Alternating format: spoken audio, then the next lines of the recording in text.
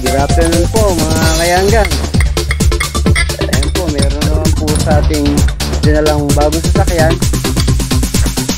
Papa PMS po. Ayun po yung ginawa natin kanina lang umaga. Yung kotse po ni Doc. Ayan, ayan po si Master. Afternoon.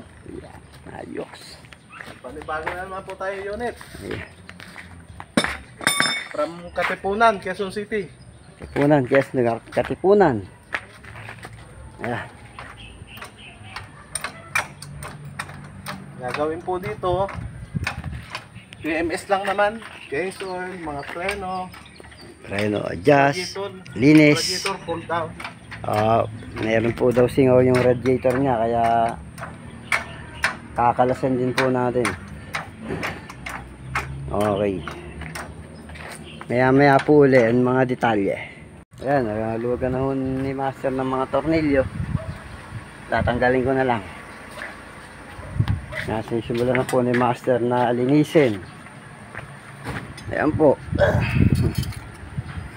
Oh, eksakto po ang dating ng ating Pakita mo isang oh. in order. Ayan. Dumating po yung isang kahon. Pakita mo doon. Yeah. Op. Wood. Brake cleaner. Pakita mo isang kahon doon. Ah. At pagbalik ko na, eksakto, deliver na. Opo, sa master. Ayun. Yun po yung palinis natin ng isang kahong. Uy.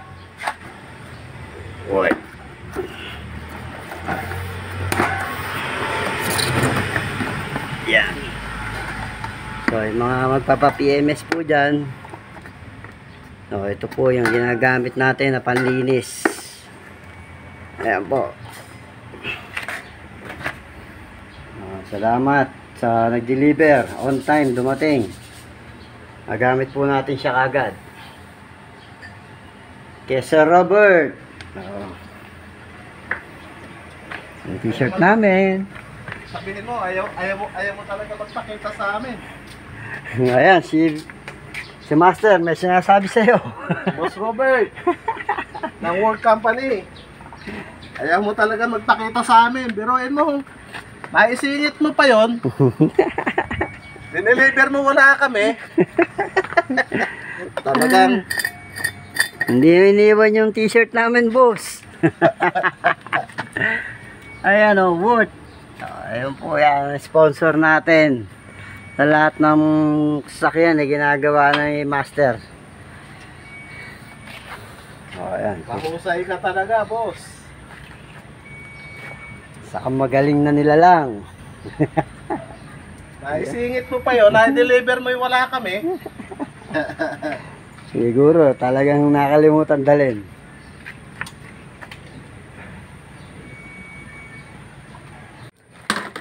So, ayan po. Uh, kinalasan ni Master yung radiator. Wala, kita nyo, nagtutumulo.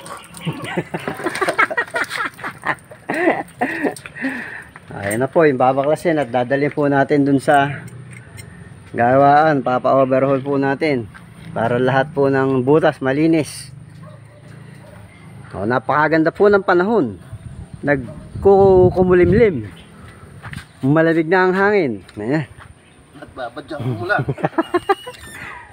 Oh, ayan po. Tapos na po yung dalawang gulong sa harap. Sa likod naman po tayo ngayon. Okay. Afternoon. Afternoon, afternoon. Shout out nga pala kay Tuan, sa may-ari nito. Ah, shout out. Kay Maisel at saka kay Anton. Idol, huwag nyo kang kakalimutan mag-subscribe ha. Ayan yung channel natin. Master Saros Automotive Works. Young Guns 44. EB. Anton, Maisel. Anton and Michael. Maisel. Hindi Michael. Maisel. Oo. Ah, Maisel. Okay Shout out sa inyong mag-asawa. Shout out. Ayan. Sa likod naman po tayo. Dun. Jajak po muna natin. Oh, okay na po.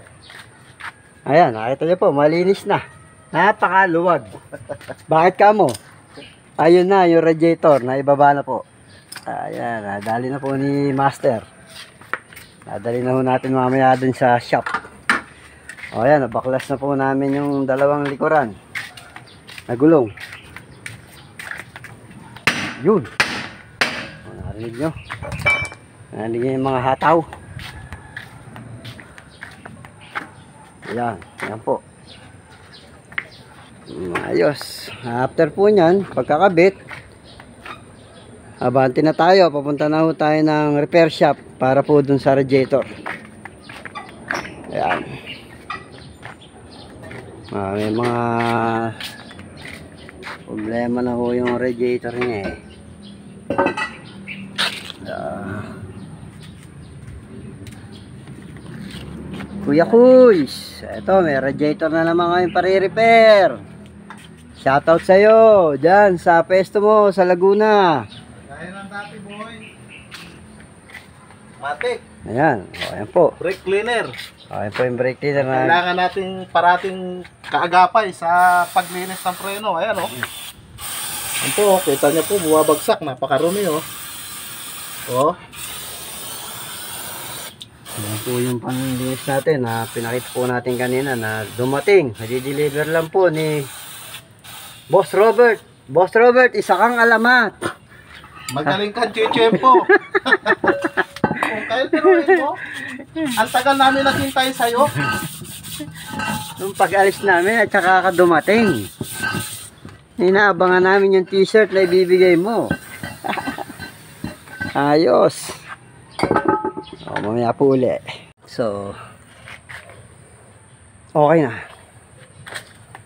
Nakabit na po natin lahat ng gulong.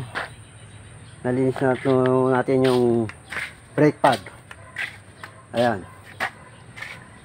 Okay na. So, punta po tayo ng Marikina para para naman po sa radiator niya. Palilinis po natin. Overhaul ho natin dun sa pagawaan. Ayan. Okay.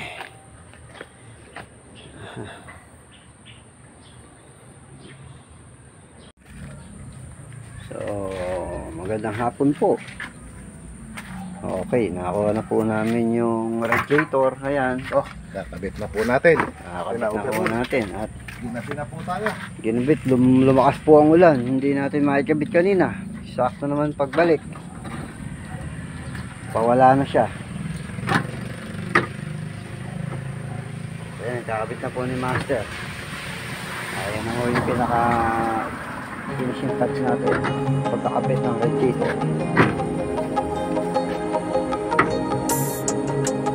Ito naman Joe. Bagong kaskas.